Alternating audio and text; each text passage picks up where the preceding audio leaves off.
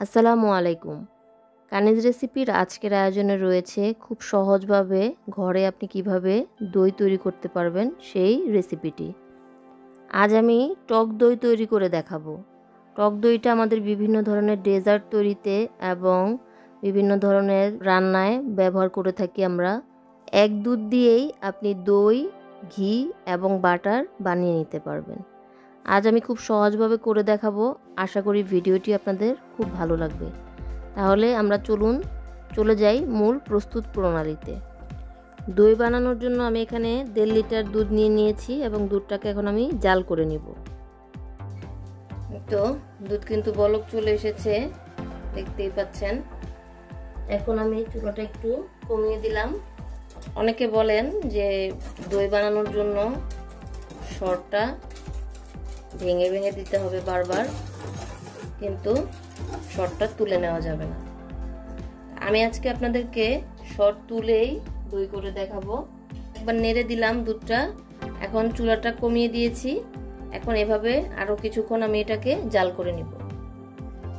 তো দুধটা জাল করে নেওয়া হয়ে গেছে, দেখতেই পাচ্ছেন কতখানি নিচে নেমে গেছে। মোটামুটি এখানে আমি চারশো এম এর মতো দুধ কমিয়ে নিয়েছি। এখন চুলাটা অফ করে দিব এবং দুধটাকে ঠান্ডা করে নিব। সম্পূর্ণ ঠান্ডা করব না, জাস্ট এখানে সুম গরম থাকবে। এখন আমি এটা একটা স্টেনার দিয়ে ঢেকে রেখে দিচ্ছি, ঠান্ডা হয়ে যাওয়ার জন্য। ফিরে আসছি ঠান্ডা হয়ে যাওয়ার পর। এই তো দুধটা ঠান্ডা হয়ে গেছে। ঠান্ডা বলতে আমি সম্পূর্ণ ঠান্ডা করিনি। এটা দই বানানোর জন্য পারফেক্ট টেম্পারেচার এখন আছে। এখন আমি প্রথমে দুধের শরটা তুলে নিব। একটি চামচের সাহায্যে চারোপাশটা আগে আলাদা করে নিচ্ছি। দেখতেই পাচ্ছেন? এখন আমি শরটা তুলে নিচ্ছি। দেখতেই পাচ্ছেন কত মোটা সর পড়েছে। এই সর দিয়েই কিন্তু ঘি অথবা বাটার অনায়াসে আপনি বানিয়ে নিতে পারবেন। ঘি এবং বাটারের রেসিপি কিন্তু আমার চ্যানেলে অলরেডি আছে। আমি ডেসক্রিপশন বক্সে লিঙ্ক দিয়ে দিব। চাইলে আপনারা দেখে নিতে পারেন। তো শর্টটা আমি ফ্রিজে রেখে দিলাম আর এখন দুধটা আমি চেক করে নিলাম আবারও। টেম্পারেচার পারফেক্ট আছে। এখন আমি একটি হ্যান্ড উইচ দিয়ে দুধটাকে কিছুক্ষণ বিট করে নিব। এতে করে ফেনা তৈরি হবে এবং যখন আমি দইটা পাতবো, এই ফেনার কারণে দইটা দেখতে সুন্দর লাগবে। অন্যদিকে আমি দইয়ের বীজটা পানি ঝরিয়ে নেওয়ার জন্য একটা ছাকনির মধ্যে নিয়ে নিয়েছি। এটাও কিন্তু আমার বাসায় বানানো। আপনারা বললে আমি এটার একটা ভিডিও আপনাদের করে দেখাবো।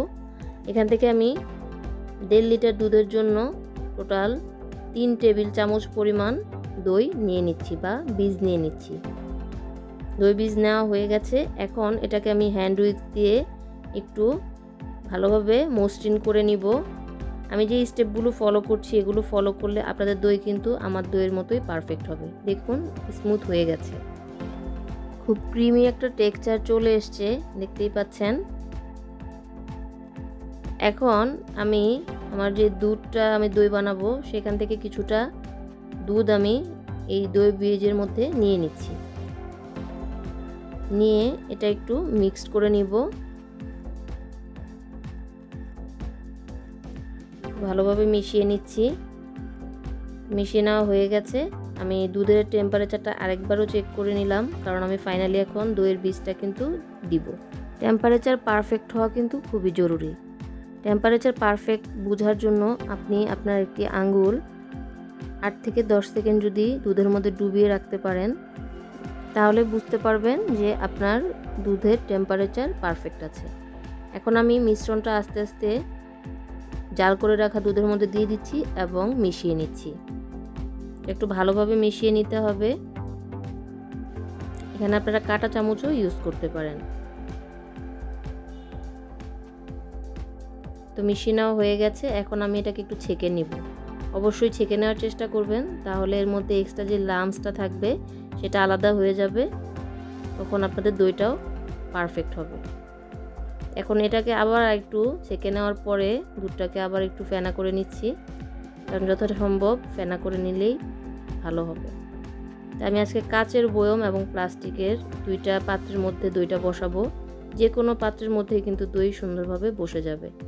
আমি কাচের পাত্রের মধ্যে নিয়ে মুখটা বন্ধ করে দিলাম এবং এবার একটি আড়ঙের একটি দইয়ের পটের মধ্যেই এবার বসাচ্ছি। আপনারা স্টিল, মাটি যে কোনো হাঁড়িতেই দই বসাতে পারেন। ঢেকে দিলাম।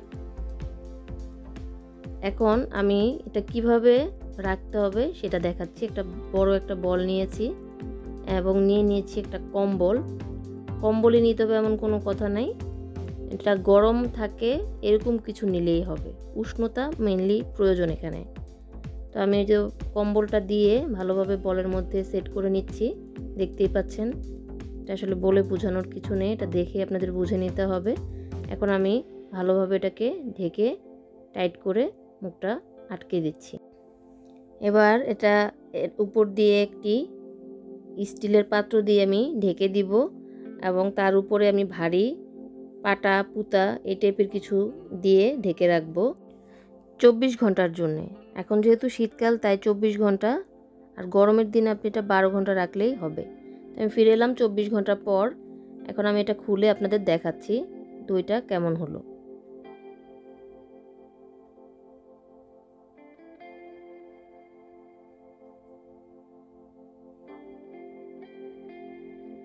আমি দুটি পাত্রই বের করে নিচ্ছি।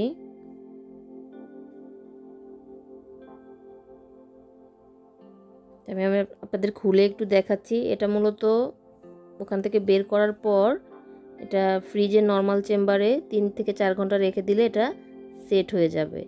তা আমি আপনাদের এভাবেই কেটে দেখাচ্ছি। দেখতেই পাচ্ছেন কতটা পারফেক্ট হয়েছে। আলহামদুলিল্লাহ। দেখতে অনেক ভালো লাগছে আসলে। আমি একটু কেটে দেখাচ্ছি, দেখুন। কতটা স্মুথ হয়েছে। দেখতেই পাচ্ছেন কতটা ক্রিমি টেক্সচার আসছে। আশা করি আমি খুব সহজভাবে আপনি আপনাদের করে দেখাতে পেরেছি। আপনারা বাসায় ট্রাই করবেন। আর বাজার থেকে অস্বাস্থ্যকরভাবে বানানো এই দই আর কিনে খাবেন না। দই কিন্তু আমাদের শরীরের জন্য অনেক প্রয়োজনীয় এবং অনেক উপকারী একটি উপাদান। টক দই থাকে প্রচুর পরিমাণে ভালো ব্যাকটেরিয়া, যেটা আপনার শরীরের জন্য খুবই প্রয়োজনীয়। আশা করি আমি খুব সহজভাবে করে দেখিয়েছি, আপনারা অবশ্যই বাসায় ট্রাই করবেন। সবাই সুস্থ থাকবেন, ভালো থাকবেন, নিরাপদে থাকবেন। এবং আপনারা অবশ্যই দইটা ফ্রিজে নর্মালে চার থেকে পাঁচ দিন রেখে খেতে পারবেন। সবাই ভালো থাকুন। পরবর্তী ভিডিও দেখার আমন্ত্রণ রইল। আল্লাহ হাফেজ।